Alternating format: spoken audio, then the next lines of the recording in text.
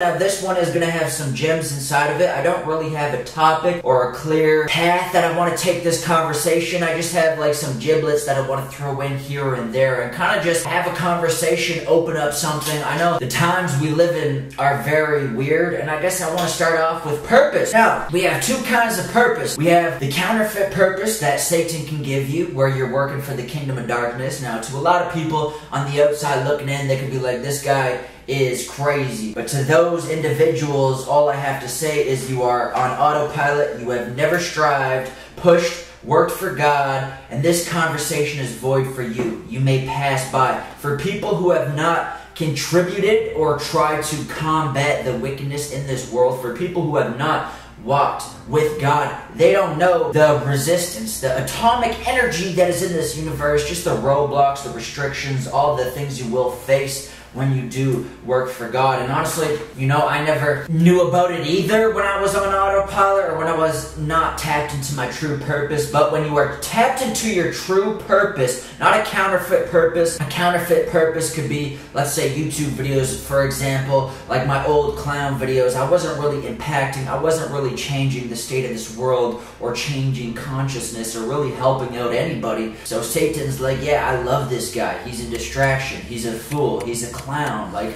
we want to applaud this guy, but the moment you start working for God, the moment you start maneuvering with God and actually trying to wake people up and help people, that is when you will notice the attacks, the spiritual, the mental, and just certain things manifesting in your life. Because, you know, when you're favored by God, you are also favored by the devil. Just take a look at Andrew Tate, Kanye West not the best role models, but there is a takeaway. These men offer partial truth in a world full of lies and deception. You could say they, kind of have a little light to them. They're not overly good, they're not overly righteous, but they do have some light within them in this dark world. And every time a person comes along who wakes up instead of distracts, there's usually a media attack or a smear campaign trying to crush that light. There has always been good and bad, darkness and light, good and evil and now if you downscale that a ton to your life, you will experience a downscaled version. When you speak the truth and you follow your God-given vision, when you follow your true purpose and make progress,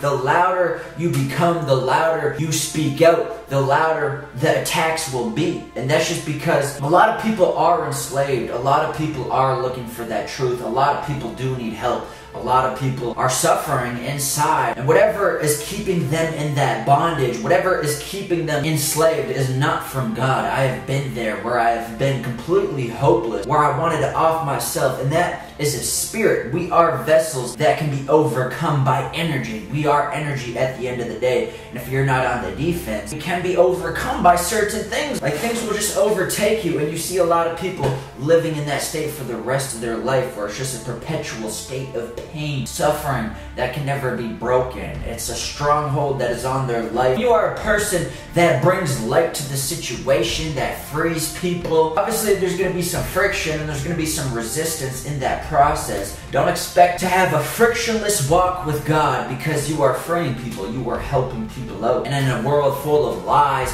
and deception, there is an atomic energy, there is an opposing side when it comes to good. But if you do work for the devil, he's not going to see you as a threat, but it will end to your inevitable destruction. In due time, you will reap what you sow. I have been there. I have been overly ambitious to where I crossed out my morals and I only focused on myself and I put everybody everybody else to the side to where it was only about me. And I was in a stomp and crush mentality, and that's how I moved forward. And I realized over time I lost the grace of God, and that ambitious spirit wore off, and it led to my demise. It led to my destruction, and I was drained and I was tired. You got to realize the spirit inside of us. When you crave more, when you have ambition, I feel like that's a favor of God. You know, because you gotta you gotta just give praise when you feel ambitious. You gotta give praise when you want more. You gotta give praise when you have an abundance of energy to achieve more because there's days when you don't want to do anything at all. And where does that spirit come from? So I want to stick with God. I want to be with God because He doesn't have that Holy Spirit. He has that ambitious, motivated spirit. And when you abide by those words, you stay in that energy. But when you lean on your own understanding and you start dipping into the other territory where it becomes wicked, eventually you will fall. And I can always see it in a man, whether it's at the gym, you know, that guy who's just clanging and banging, slamming weights, disrespecting I could look at him and be like, yeah, I know your downfall is coming soon. And that's because pride leads before destruction. On my path, on my walk, I am really ambitious. I do want to achieve a lot, but I keep myself in check and I make sure that I'm not becoming prideful or crossing into other people's lives and being disrespectful. I make sure that I'm not crossing over into somebody else's story and stomping and crushing because we all have our own purposes. We all have our own roadmaps, and that's for you to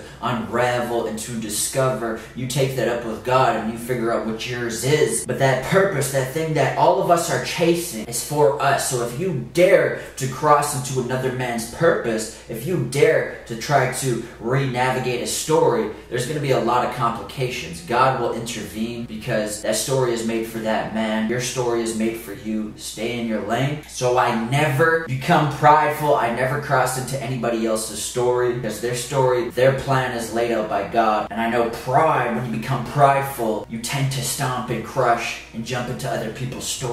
And man, it always leads to destruction. It always leads to your demise every single time. But yes, I notice the deeper I connect with my purpose, the more distractions, counterfeits, and resistance, you know? Like, let's say, for example, I'm really just focused on what I should be doing. I'm focused in the gym. I'm focused on my purpose. I'm focused on what God designed me to do. And I started to notice at the gym, there's just a whole bunch of attractive females trying to interfere with what I'm doing. Like today, I don't like to really talk about this because it's just ridiculous. But anyways, what I call counterfeits is people who are designed by Satan. Like, let's say, for example, it could be a female who is very attractive. Now, that's not my future wife. She is really attractive, and to my eye, she'd be very appealing, and I could follow that counterfeit female believing she's the one for me because she's attractive and it's like that forbidden fruit when you follow down that trail and now maybe I missed out on my future wife who is attractive, has morals, all of these things. So we call it a counterfeit. And I was working out and like it was just like a whole bunch of attractive females spawned in and I'm like, yeah, this is Satan trying to bait me off my path to distract. And you notice those things when you are spiritually aware. Now if you are a man and you don't follow God, you would probably stop being focused and you would give into these things. Now, from the outside looking in, you could be like, okay, these girls are attracted to you because they see that you have a future, they see that you're focused, they see that you're disciplined. From the outside looking in, yes, that is true. But the further down you go and the more you tap into your purpose, you will realize when you are working for God, there will be more resistance, there will be a bigger fight, and you see it all the time with prophets. I am not saying I'm a prophet, but I'm just saying, you know, with Bob Marley,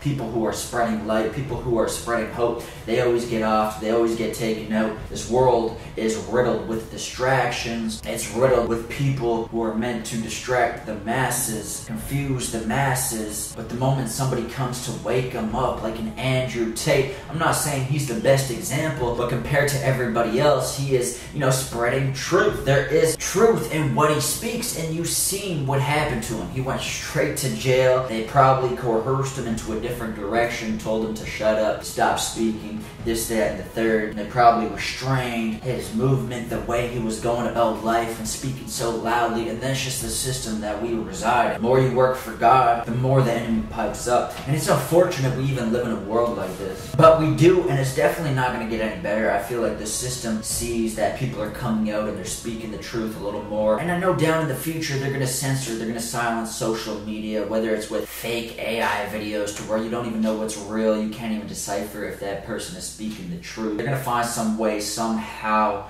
to really just wipe out the truth, and that's how the government operates. The people can't be freed if all the information, if all the truth is entirely wiped out. But anyways, besides this fallen world and the direction it is heading, you trust, you follow, and you rely solely on God, not the external. You follow God, you build a more intimate connection, you build that trust, you build that faith, and He will show you the path that was designed for you. He will unravel your purpose. He will show you the person that you are meant to be. But you just gotta listen and you gotta build that intimacy. Now, if you're consumed by the noise, if you're consumed in the crowds, if you're consumed with the masses, if you're consumed by distractions, if you're consumed by your phone, what they want you to be consumed by, it's really hard to build that connection, build that intimacy. And for a lot of people, they're like, well, I don't believe in God. That's just ridiculous. I say you are ridiculous. Look at us. Look how complex we are. Like, what am I, dude? Like a human being? You think this just came from nothing? Don't think there's a God God behind this? You don't think there's a creator who created all of this? Like, you gotta be absolutely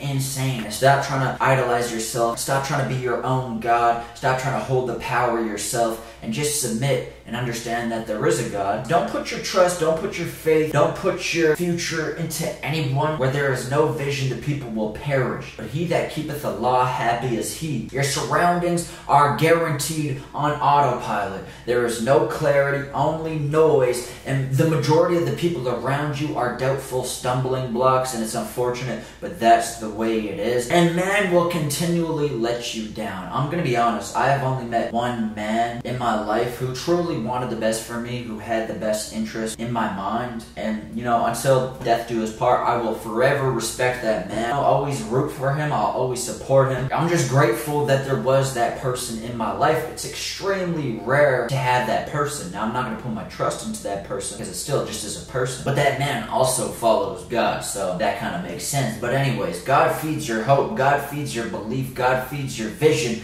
These people do the opposite. In God, we trust, not men. Develop your connection with God and lose your connection with the world. Whoever is a friend of the world is an enemy of God. So stop trying to be a friend of this world. Stop trying to fit into this world. When you are with God, you are meant to be set apart. You are meant to be different. You're not meant to fit in. You don't want to fit in. Fitting in is your own demise. The more you fit in, the more you're confined to their beliefs, the more you're confined to their standards, the more you're kind of enslaved and controlled. But when you depart and you're always kind of alone and you're doing your own thing, you really only rely on God and you're actually an individual who can help the people. But now, when you follow your vision, make sure you're overcoming evil with good. We are set apart for a reason. Don't be destructive in your pursuit for more because you will fall. You see it time and time again with these men who pursue a goal and overlook absolutely everything else. They put the goal at the forefront and the morals, the respect, the kindness, the love is all wiped out.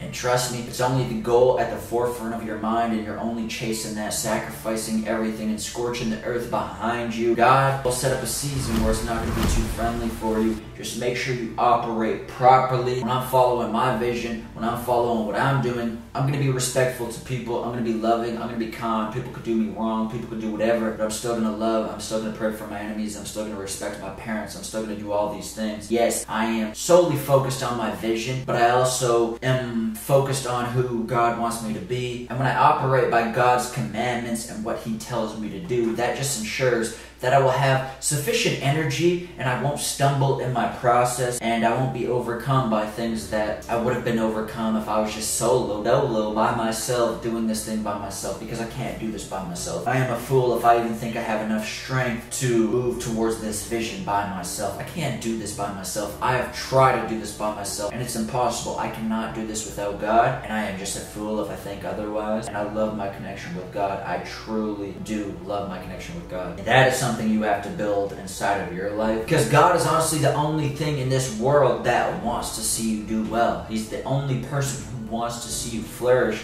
He's the only person who wants to see you grow. This system has instilled some wicked, disgusting morals into the people around you to where they don't really want to see you flourish. They don't really want to see you do good. And that's the unfortunate side of this reality. Like, this system has created some wicked people, and that's why God is coming back because it's only progressively getting worse. I don't think these people are going to turn from their ways. But, anyways, for the people who are watching my videos, I demand that you focus on impact, that you focus on helping others out. Seek the kingdom, and everything else shall be added unto you. I know you maybe want to be greedy, maybe you want to go down that road, but trust me, the more you idolize things that aren't from God, yes, money is from God. It can be a tool that can make you very abundant and prosperous and all those things, and it can help a lot of people out. But when you put money over God, or when you put anything over God, you will inevitably go to your own downfall. I'm telling you, put God first, focus on impact, overcome evil with good, and really just become the best version of yourself and really just focus on being good. Your path will be so much easier. Don't dwell into these wicked ways because you will be crushed, you will be destroyed each and every single time. I am telling you, follow the righteous path, be set apart, be the example because this world desperately needs more people like that. And I mean desperately needs more people like that. Because like God said, the times that are coming up ahead, everybody's going to be arrogant, they're going to be boastful, they're going to be prideful, they're going to be lovers of self, and we are seeing that, and we need the people who are set apart to start coming forward and showing the example of creating a new world, or else you are going to see the downfall, the destruction of your communities, your families, the world around you will fall apart if you don't play your part. You know you are set apart. If you're watching my videos, if you relate to my videos, know there's something about you that is not like the others. So make sure you follow that. Make sure you follow God. Amen. And either way, I'm having fun with it. God told me I could run with it. I was secular, but now I'm done with it. When I'm rhyming, I shine like a diamond. Just wait till the sun hit me like, come get me. But he ain't gonna come get me. Cause if I'm declining, he tell me keep grinding. I don't think he done with me. No, he ain't done with me.